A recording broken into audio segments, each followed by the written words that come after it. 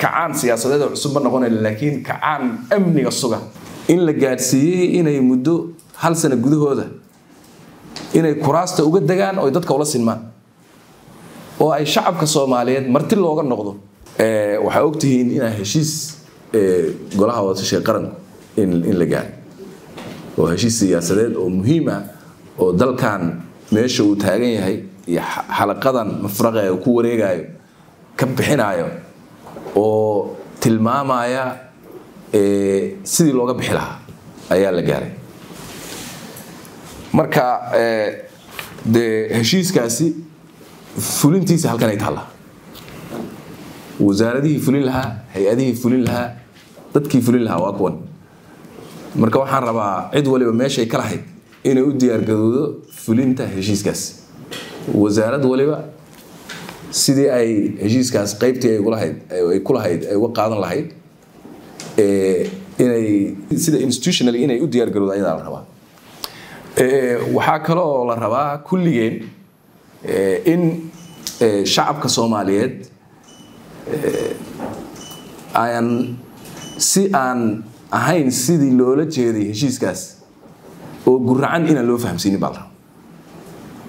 Waxaa la rabaa markaa inaad xukuumaddu wasiiradu ay qayb ka qaataan libaax inay dadka soomaaliyeed u fasiraan shacabka soomaaliyeed u fasiraan in waxaa loo sameeyey ayaga dartood.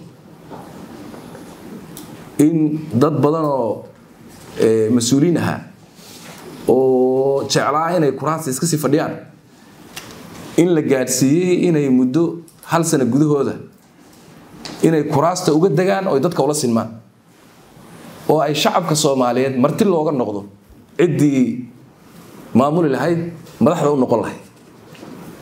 Awal hore muddadaas dheeran ku soo jirnay waad ogtihiin shacabkeennu asagaa marti ah.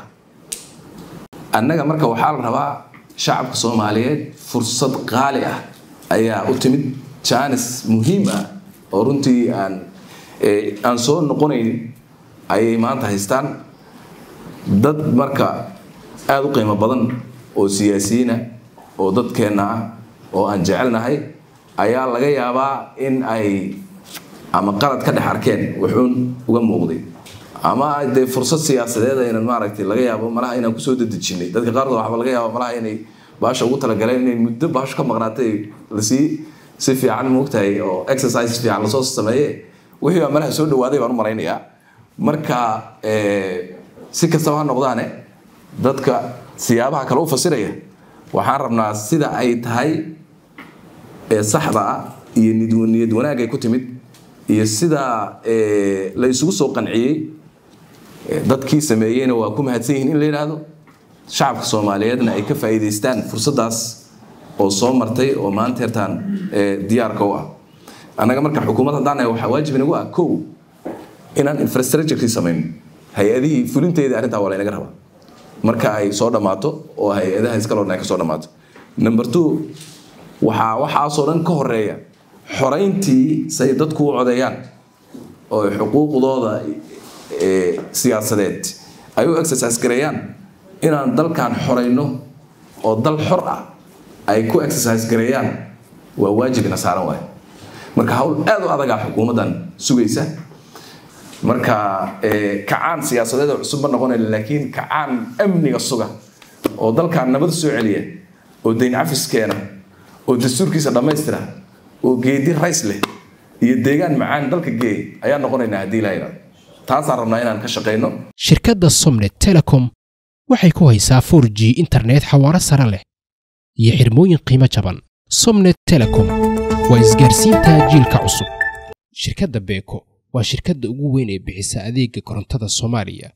Beeko waxa ay koronto siisaa inta badan koonfurta soomaaliya sida banaadir jubbaland hirshabeelle iyo koonfur galbeed. Beeko waxa ay siisaa adeeg koronto oo dhammaystiran. Dhammaan toddobiiyo tobanka degme ee gobolka banaadir iyo goobaha ugu waaweyn magaalada muqdisho sida airboorka aadan cadde dekedda muqdisho iyo dhammaan safaaradaha iyo hay'adaha caalamiga ah